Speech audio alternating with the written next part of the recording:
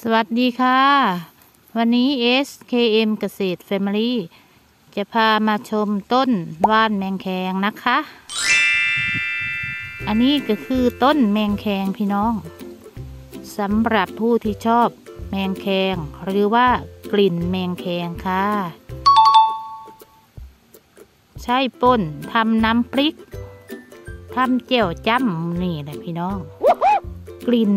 จะออก คล้ายกลิ่นแมงแคงทดแทนกันได้นะคะ ใช้ใบ ซอยน้อยๆตำให้ละเอียด สีใส่หยังกะแล้วแต่เจ้า แซ่บหอม กลิ่นแมงแคงเลยล่ะค่ะ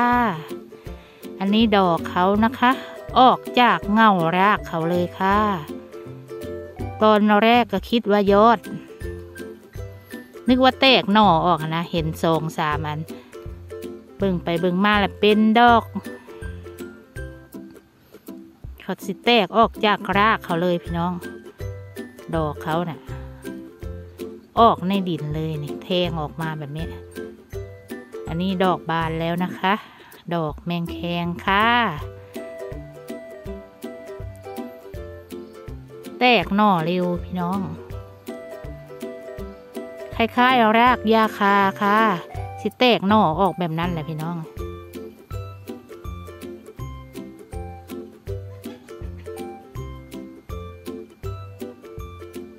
นี่ดอกเขา สวยงามค่ะ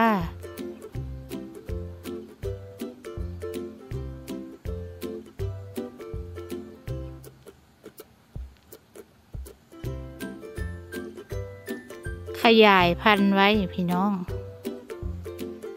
อันนี้กะบางคนก็ชอบ บางคนก็ไม่ชอบใครบ่ชอบก็มาเบิ่งให้กำลังใจ ไม่ว่าอะไรนะคะ Okay. ขยายลงถุงดำไว้เรื่อยๆค่ะ เอาไว้กินนำแล้วก็เอาไว้ขายนำพี่น้อง ขายให้คนแถวบ้านนั่นแหละค่ะ ไม่แพงนะคะสำหรับต้นแมงแคง ใช้ทำน้ำพริกพี่น้องเอ้ยใช้ปุ่นทำเจ้วมาหั่นละตำตำตำให้ละเอียดก่อนเด้อถ้าไม่ละเอียดมันก็สีแข็งเนาะมันสีสักๆนะแตกหน่อดีขนาดเลย นนี้ก็แล้วแต่ความชอบความหมักของแต่ละคนเนาะพี่น้อง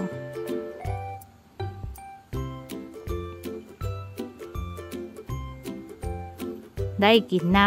ำได้ขายนำถ้าเขาบกขยาย ต้นเขาก็จะเหลืองแล้วก็แก้หัวกระสินเน่าไปในที่สุดนะคะ Yeah.